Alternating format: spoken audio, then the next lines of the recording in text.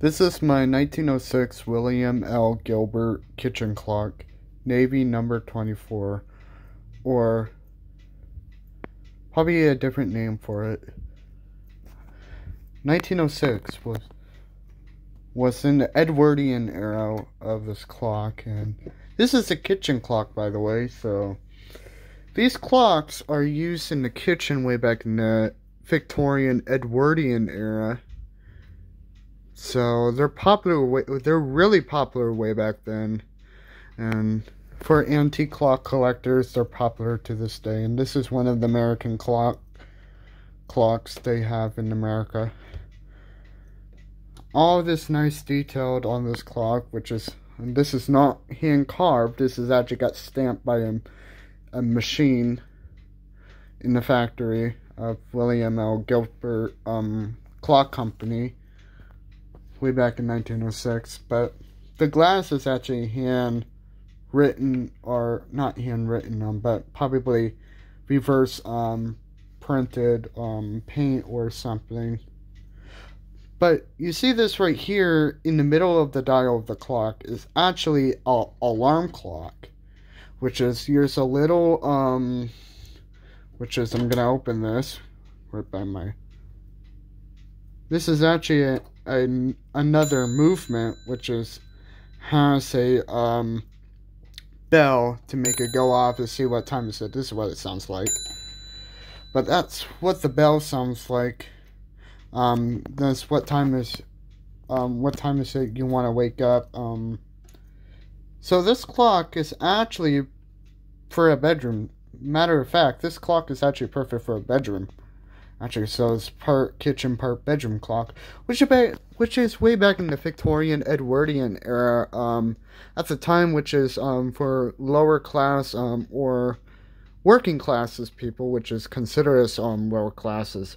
Um, they most likely sleep in kitchens um in the winter, so because they don't have extra bedrooms way back then. some of the houses are really small, but in the Victorian era, so they must for the lower class people, they most likely sleep in the kitchen in the wintertime so they can actually, you know, get warm or something. Something like that, where they don't have an extra bedroom. I don't know, but that's probably what I guess, um, what this clock used for, for the bedroom or something. But like, like what I'm saying though, which is the, which is people can sleep slept in kitchens way back then, um, in the Victorian Edwardian era for the working class, that they don't have extra bedroom. But anyway, I paid this clock for um 140 um 139 bucks, which is almost closer to 140 at my local antique um my local antique store here in town, which is I bought this last year. Yeah, a year ago I bought this and this is what it um sounds like.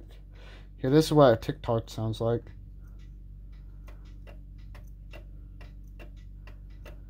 Most likely it's out of beat, it needs to be in beat.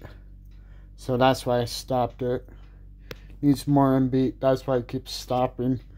But anyway, this is what it um it sounds like on the gong though. This is a half hour. And this is what it looks like. This is what it sounds like, not looks like. Um sound like on the hour.